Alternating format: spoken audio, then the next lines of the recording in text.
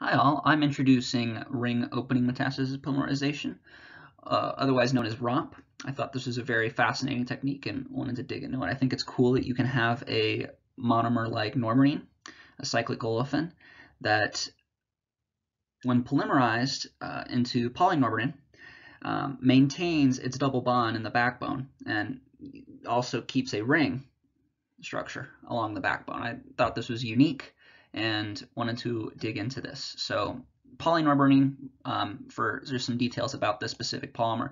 It's commercially sold under the name of uh, Norsorex. It's um, used to absorb up hydrocarbons. It has an affinity to bind with hydrocarbons, which is interesting, and it's also used as a commercial elastomer.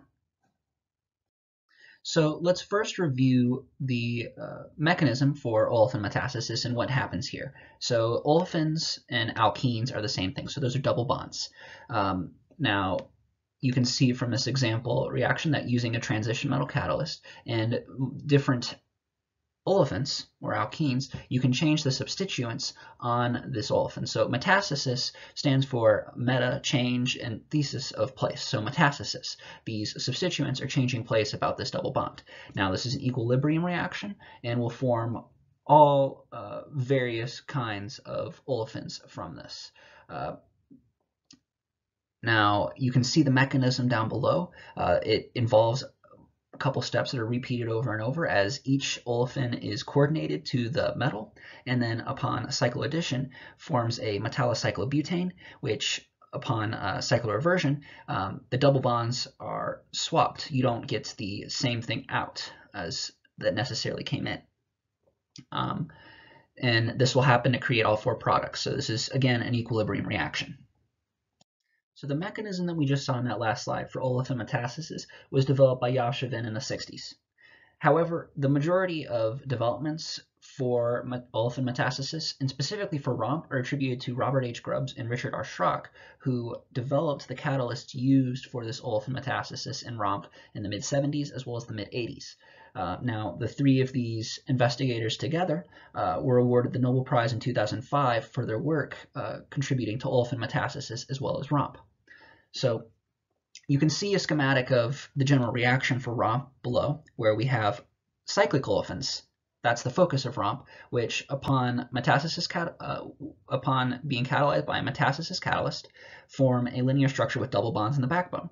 So this is a chain growth reaction um, and the key advantage is that we do keep these double bonds in the backbone.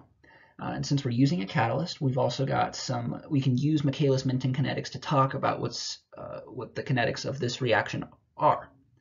Uh, we also uh, know that this relationship between the monomer and the catalyst is very important for determining the uh, effectiveness of this ROMP technique. Now these are the three steps for the polymerization of an cyclic olefin by ROMP, you can see that you start with an initial uh, metal alkylidene. So you have a metal carbene bond that uh, we, we get a coordination of the alkene to that metal, like in the same mechanism that we saw for olefin. We get the cycloaddition to that metallocyclobutane as we saw before, and we get the cycloreversion. The nice thing here, however, is that the cycloreversion is driven by ring strain. And we'll talk about that a little bit more as we go. Now, this the same process happens over and over, and it, the initiation starts with an alkyl group on the other side of the carbene bond, but with propagation, the metal or is uh, bound to the growing polymer chain, and we keep on inserting the monomer in between that polymer chain and that metal, just over and over in that active uh, spotway, that carbene. Uh, to terminate this, when we finally are done reacting with our monomers, we will um, react the metal with, usually it is a ethyl vinyl ether, to pull the, the metal out of solution so we don't get degradation of our polymer. So as noted earlier, this polymerization process is driven by ring strain. So we've got some example monocyclic monomers. Right? They each have their, their double bonds in them. So we have our cyclic alkenes, and you can see that for small rings and large rings, um, the change in Gibbs free energy of polymerization is negative, meaning we can get that to happen at room temperature. However, for six-membered rings, we don't see a favorable reaction.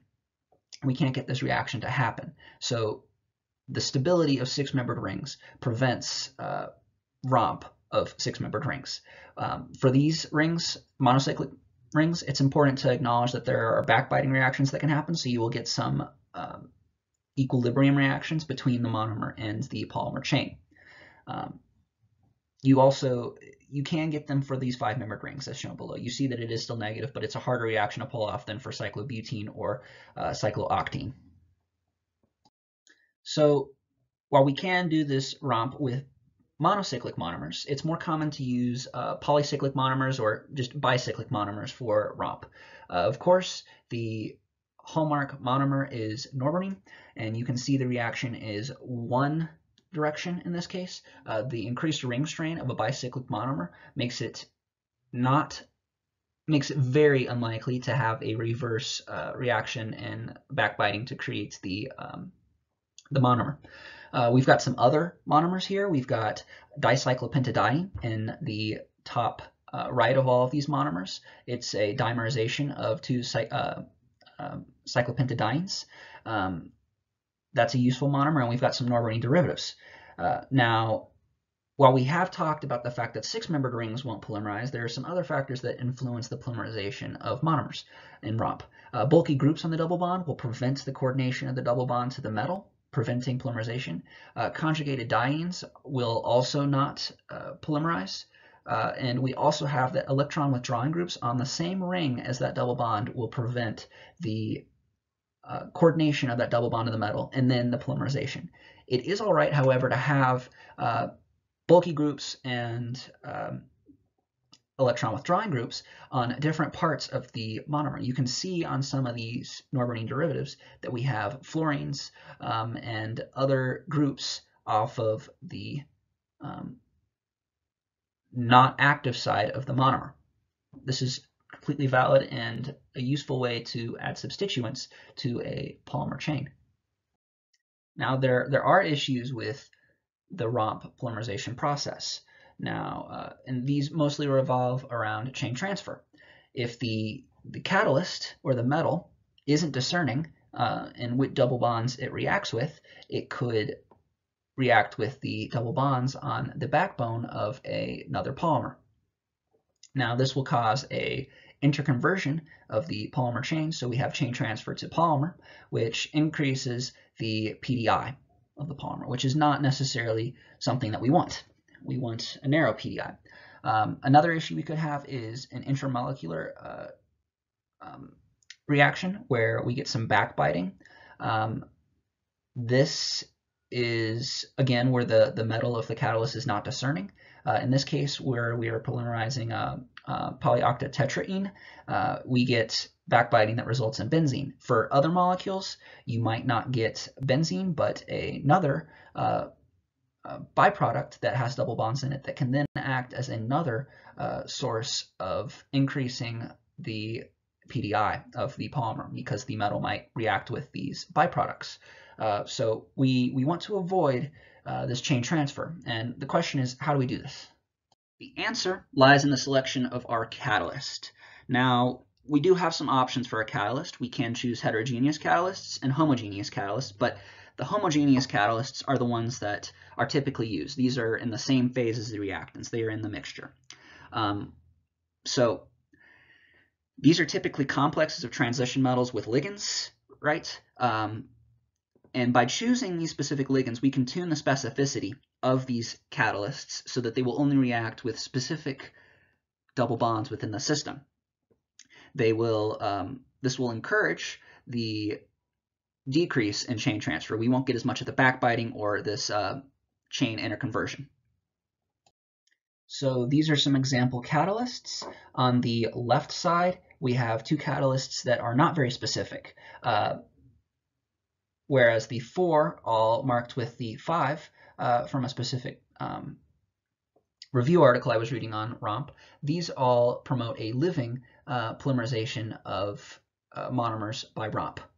So uh, all four of the polymers to the right, as well as the tungsten polymer, are homogeneous um, catalysts and have different specificities and different uh, uses based off of the metal as well as all the substituents around them. Um, specifically, the polymer in the top right. Uh, this is the Grubbs first catalyst. This was one of the first polymers used for uh, olefin metathesis uh, and ROMP in general, but it has been improved to right below it the third generation um, Grubbs catalyst. Now, this is a great catalyst and will give living polymer, uh, polymerizations of norbornene and its derivatives and will give polymers with small PDIs less than uh, 1.1. Um, of course, a living reaction. Just like other polymerization um, reactions, we have a stereochemistry and tacticity to our polymers. Now you can see that we still get the syndiotactic and the isotactic structure as well as atactic um, structures to our polymers, but that depends on the nature of the uh, puckering of the rings or the, just the orientation of the rings um, in the backbone. But the double bonds along the backbone also provide a, another element of stereochemistry in the sense that they can either be cis or trans. Um, and then there is a third component of the uh, head-to-tail, tail-to-tail, um, tail-to-head interactions that we could have with a monomer for uh, non-symmetric um, um, cyclic olefins. The nice thing is with most of the catalysts, we can the, tune the specificity of these catalysts to alter the percentage of trans and cis, as well as tacticity, and to a lesser degree, the orientation of the molecule as it uh, becomes coordinated with the um, polymer. Now with these uh, with these double bonds along the backbone of these polymers, what's nice is we can use conventional sulfur-Curring systems to vulcanize and cross-link uh, ROMP polymers along their backbone. So this makes uh, norbornene elastomers and other elastomers from these polymers uh, something that are fairly easy to create, which is exciting. Uh, however, there are other structures that we can make. For example, with uh, dicyclopentadiene, as shown, we can form cross-link structures. Uh, this specific polymer or cross-link structure is the commercial polyene, uh, polymer uh. We also can form block copolymers using the living nature of this reaction and the tuned nature of the catalyst, uh, as shown below in the bottom left. And then we can form graft polymers, which takes advantage of the fact that the double bond uh, is not affected by other substituents off of uh, other parts of the, the bicyclic ring. So the specific graft polymer was part of a paper that talked about using uh, or attaching polypeptide sequences to a ROMP polymer backbone. Uh, but there are other ways that we can attach um, the beginning of uh, ATRP or RAFT polymers to a ROMP generated background, um, making or backbone, making a very, very useful um, structure to orient and create graft polymers. These are my sources or primary sources for my research into ROMP. I hope you enjoyed this and thought this was uh, an interesting mechanism just like I did. Thank you.